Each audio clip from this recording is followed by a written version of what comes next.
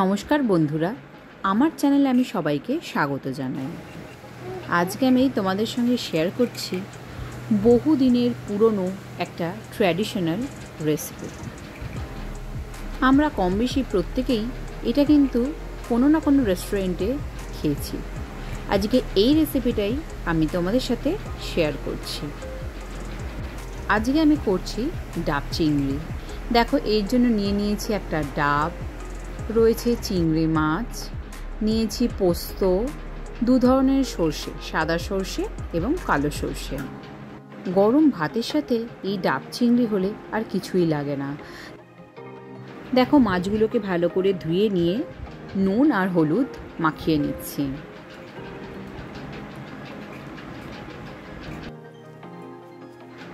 এই ডাব চিংড়ি করার জন্য মাছে নুন হলুদ মাখিয়ে কিন্তু মোটামুটি দশ মিনিটের মতন রাখলে ভালো হয়। আর দেখো, ডাবের থেকে শ্বাসগুলোকে আমি বার করে নিয়ে ছোট ছোট করে টুকরো করে নিয়েছি। আর এদিকে রেখেছি আমি ডাবের জলটা। এইখানে কিন্তু আমি কোনো জল ইউজ করব না। যদি জল দরকার লাগে, সেটা আমি এই ডাবের জল দিয়েই ইউজ করব। দেখো, ডাবটা মুখটা একটু বড় করে কাটতে হবে। এইবার আমি একটা মিক্সির মধ্যে নিয়ে নিচ্ছি পোস্ত, কালো সর্ষে, সাদা সর্ষে।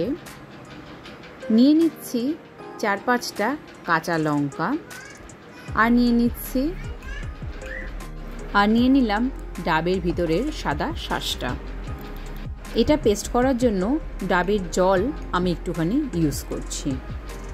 এইবারে এটাকে আমি মিক্সিতে পেস্ট করে নেব।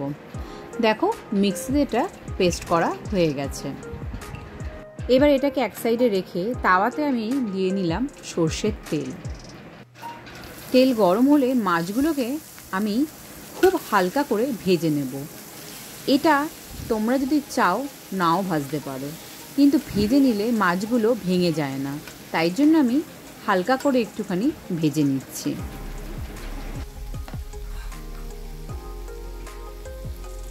দেখো, মাছগুলো আমার হালকা ভাজা হয়ে গেছে। এবার আমি এগুলোকে তুলে নেব।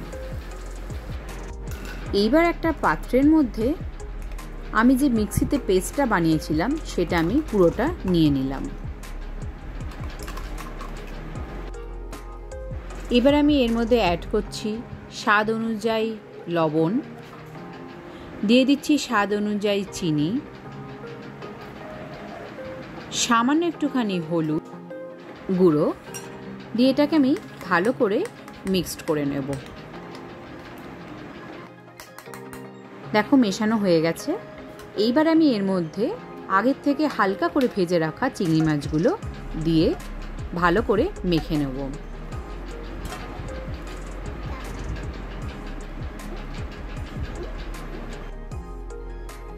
এই ডাব চিংড়ি তোমরা বাড়িতে ইজি বানিয়ে নিতে পারবে। এবং সময়ও খুব কম লাগে। এবার আমি এর মধ্যে দিয়ে নিচ্ছি সর্ষের তেল। সর্ষে তেলটা দিয়ে আমি আবার ভালো করে মেখে নেব।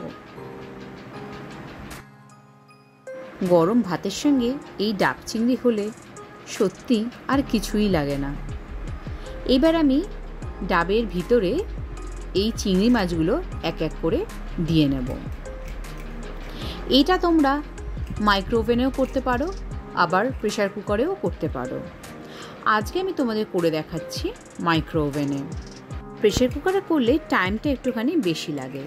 প্রেশার কুকারে একটু জল দিয়ে, তার মধ্যে ডাবটা দিয়ে, ঢাকনাটা দিয়ে ঢেকে রাখলে মিনিট কুড়ির মধ্যে কমপ্লিট হয়ে যায়। দেখো, আমার ডাবের ভিতরে চিংড়ি মাছগুলো ঢোকানো হয়ে গেছে। এইবারে আমি এর মুখটাকে একটা আটার প্রলেপ দিয়ে আটকে দিচ্ছি। মাইক্রোওভেনে আমি এটা এবারে ঢুকিয়ে দেব।